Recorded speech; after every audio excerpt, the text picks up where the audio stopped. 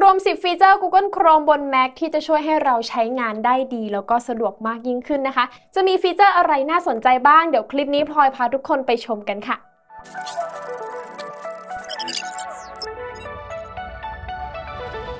ก่อนที่เราจะไปชมฟีเจอร์แรกนะคะ ยังไงพลอยก็ฝากกดติดตามช่อง i m o d Official แล้วก็กดกระดิ่งตรงนี้ไว้ด้วยนะคะ จะได้ไม่พลาดคอนเทนต์ที่เราทำมาเสิร์ฟให้ทุกคนได้ชมกันแบบนี้ค่ะ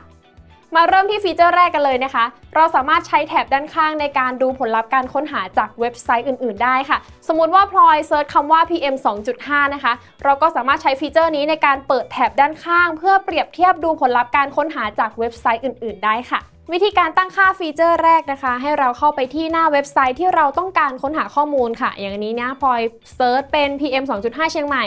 ก็เข้าไปที่หน้าเว็บไซต์แรกได้เลย แล้วก็ให้ไปเลือกที่สัญลักษณ์ Google ตรงนี้นะคะ นี่มันก็จะขึ้นแถบด้านข้างขึ้นมา ซึ่งก็เป็นชุดข้อมูลเดิมที่เราค้นหาไปเมื่อกี้ณตอนนี้เนี่ยเราก็สามารถเปรียบเทียบข้อมูลสำหรับเว็บไซต์ต่างๆ ได้เลยนะคะ และแถบด้านข้างตรงนี้นะคะ ก็สามารถปรับขยายขนาดแบบนี้ได้ด้วยค่ะ ถัดมาฟีเจอร์ที่ 2 นะคะ เราสามารถปักหมุดแถบสำคัญได้ค่ะ เวลาที่เราเปิดใช้งานแถบเยอะๆนะคะ ก็จะช่วยจัดเรียงลำดับความสำคัญของแถบต่างๆ ได้ รวมถึงจะช่วยป้องกันเวลาที่เราอาจจะเผลอกดปิดแถบไปได้ด้วยค่ะสำหรับวิธีการตั้งค่าฟีเจอร์ที่ 2 นะคะ ให้เราไปเลือกที่เว็บไซต์ที่ต้องการปักหมุด แล้วก็คลิกขวาที่แถบตรงนี้ค่ะ ให้เลือกที่พินนะคะ ทีนี้เนี่ยแถบที่เราปักหมุดไว้มันก็จะไปถูกจัดเรียงอยู่ที่ด้านซ้ายมือแบบนี้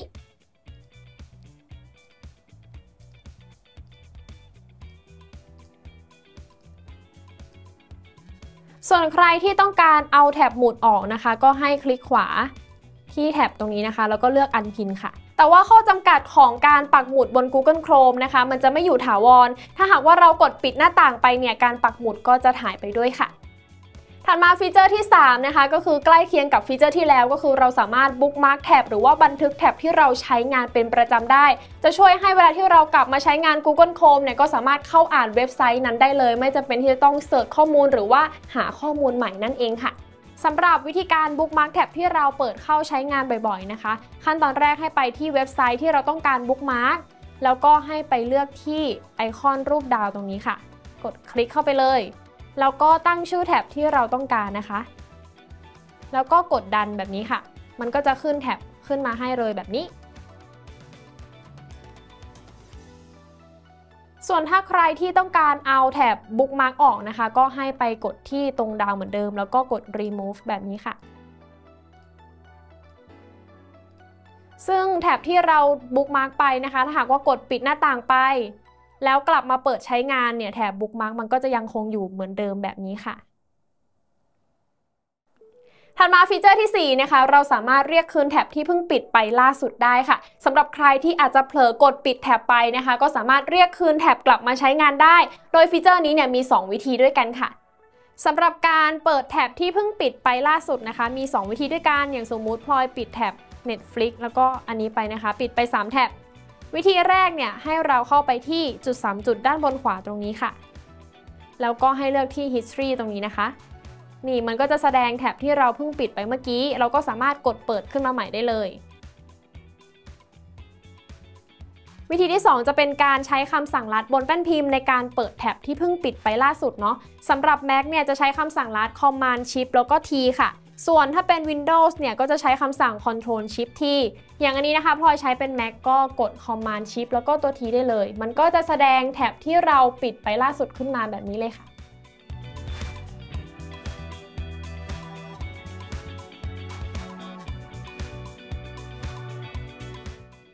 หรับฟีเจอร์ที่ 5 นะคะ เราสามารถใช้คำสั่งลัดบนแป้นพิมพ์ในการดูแท็บที่เราเปิดใช้งานได้ด้วย โดยที่ไม่ต้องมานั่งไล่คลิกเมาส์เปิดดูทีละแท็บเลยนะคะสำหรับฟีเจอร์นี้เนี่ยจะเปิดดูแท็บได้มากสุด 9 แท็บก็คือตัวเลข 1-9 นั่นเองค่ะถ้าเป็น Mac นะคะให้ใช้คำสั่ง Command บวกตัวเลข 1-9 ส่วนถ้าเป็น Windows เนี่ยให้ใช้คำสั่ง Control บวกตัวเลข 1-9 ค่ะ อย่างอันนี้นะคะเป็น Mac ก็ใช้คำสั่ง Command บวกตัวเลข 1 ก็จะแสดงแท็บอันแรกนะคะ 2 3 4 5 6 7 8 9แบบนี้ค่ะ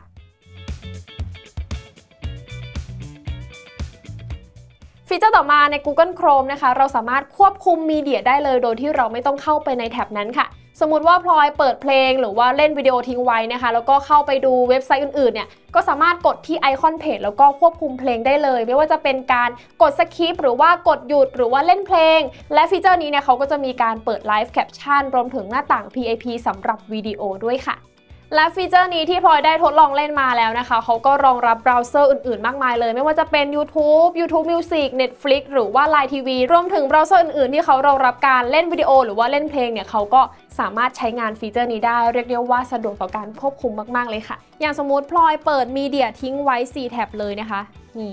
มีทั้งเพลงแล้วก็วิดีโอนะคะ แล้วพลอยก็เข้าไปอ่านเว็บไซต์อื่นๆ รอ หลังจากนั้นหากว่าเราต้องการควบคุมมีเดียก็ให้ไปที่ไอคอนเพลงตรงนี้ค่ะ คลิกเข้าไปเลยมันก็จะแสดงรายการมีเดียทั้งหมดที่เราเปิดทิ้งไว้นะคะ เราก็สามารถควบคุมผ่านตรงนี้ได้เลย ไม่ว่าจะเป็นการกดปิดหรือกดเปิดเพลงนะคะ หรือว่าเปลี่ยนเพลงก็สามารถทำได้เช่นกันค่ะ ส่วนด้านล่างนะคะก็จะเป็นฟีเจอร์ Live Caption ค่ะ ก็คือฟีเจอร์คำบรรยายเพลงเนาะอย่างอันนี้พลอยเปิดเพลง YouTube Music ทิ้งไว้นะคะ แล้วก็เปิดฟีเจอร์นี้ พอออกจากหน้าต่างนี้ปุ๊บเขาก็จะขึ้นคำบรรยายเพลงขึ้นมาให้เราเลยค่ะ ต่อไปมีเดียที่เป็นวิดีโอนะคะเขาก็จะมีฟีเจอร์ PIP ซึ่งเป็นหน้าต่างเล็กๆ เปิดให้เราใช้งานด้วย อย่างสมมุติพลอยเปิดมีเดียนี้ทิ้งไว้นะคะ แล้วก็กดที่ไอคอนตรงนี้ มันก็จะขึ้นเป็น PIP แสดงหน้าต่างมีเดียที่เราต้องการดูได้เลยค่ะ ฟีเจอร์ถัดมานะคะใน Google Chrome เนี่ยเขามีการเพิ่มส่วนขยายหรือว่า extension ได้ด้วย ซึ่งฟีเจอร์นี้เนี่ยจะช่วยให้เราสามารถเข้าถึงเว็บไซต์ได้สะดวกแล้วก็รวดเร็วมากยิ่งขึ้น โดยที่เราไม่ต้องเข้าไปค้นหาในแท็บใหม่ได้เลยค่ะ และนอกจากการเพิ่มส่วนขยายหรือว่า extension เนี่ยใน Google Chrome นะคะเขาก็ยังมีการเพิ่มทีมหรือว่าเปลี่ยน wallpaper ได้ด้วย เรียกได้ว่าเป็นกิมมิคเล็ก ๆ ให้ผู้ใช้สามารถปรับแต่งหน้าเว็บไซต์ตามต้องการได้ด้วยค่ะ ขั้นตอนแรกให้เราไปที่จุด 3 จุดด้านบุมบนขวาตรงนี้ค่ะ คลิกเข้าไปนะคะ แล้วก็ไปที่ setting แล้วก็เลือกที่ accessibility ค่ะ จากนั้นให้เลือกแท็บตรงนี้นะคะ เขาก็จะแสดงขึ้นมาที่หน้าส่วนขยายเลย ก็จะเป็นหน้า Chrome Web Store นะคะ ให้เราเลือกที่ส่วนขยาย หลังจากนั้นเนี่ย เราก็สามารถเลือกเว็บไซต์ที่เราต้องการเพิ่มเข้าไปได้เลย อย่างอันนี้พลอยเลือก Google Translate นะคะ แล้วก็กดเพิ่มใน Chrome ไปที่ add extension นี่หลังจากนั้นตัวเว็บนี้นะคะ ก็จะขึ้นที่ส่วนขยายตรงนี้ได้เลย เราก็สามารถกดพิน เพื่อกดเข้าไปใช้งานตรงนี้ได้เลยค่ะ ต่อไปเป็นการเพิ่มทีมหรือว่าเปลี่ยนพื้นหลังในเว็บไซต์ Google Chrome นะคะ ให้เราไปที่แถบธีมตรงนี้ แล้วเราก็สามารถเลือกธีมตามที่เราต้องการได้เลย สมมติพลอยเลือกอันนี้นะคะ กดเข้าไปแล้วก็ให้คลิกที่เพิ่มใน Chrome หลังจากนั้นธีมก็จะเปลี่ยนเป็นตามที่เราเลือกแบบนี้เลยค่ะ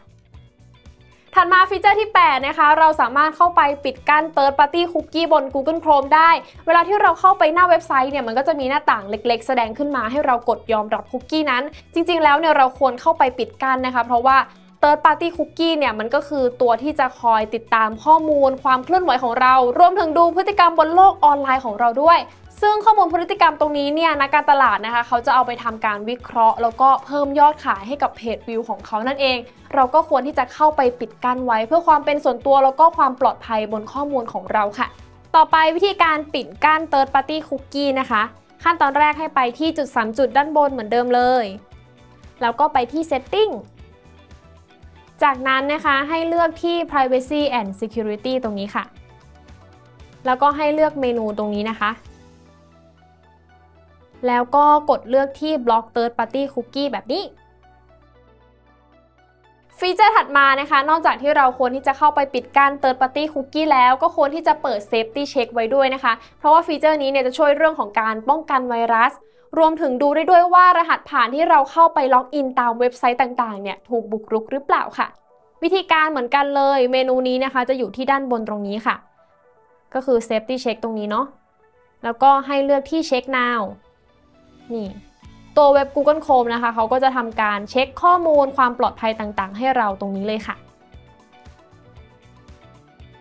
และฟีเจอร์สุดท้ายนะคะ ใน Google Chrome เนี่ยเขามีโหมดประหยัดพลังงานด้วย ต้องบอกก่อนว่าใครที่ใช้ Google Chrome บน Mac Chip Apple Silicon นะคะ ใน Google Chrome เวอร์ชันล่าสุดเนี่ยเขามีการปรับปรุงโหมดประหยัดพลังงานให้ Mac ลดการทำงานเบื้องหลังลง กินแบตน้อยลงแล้วก็สามารถใช้งานได้ยาวนานขึ้นนั่นเองสำหรับโหมดประหยัดพลังงานบน Google Chrome เนี่ยเขามีอยู่ 2 โหมดด้วยกันนะคะโหมดแรกนะคะก็คือโหมด Memory Saver ค่ะ โหมดนี้นะคะจะเป็นการทำงานที่ปิดแท็บที่เราไม่ได้ใช้งานออกไป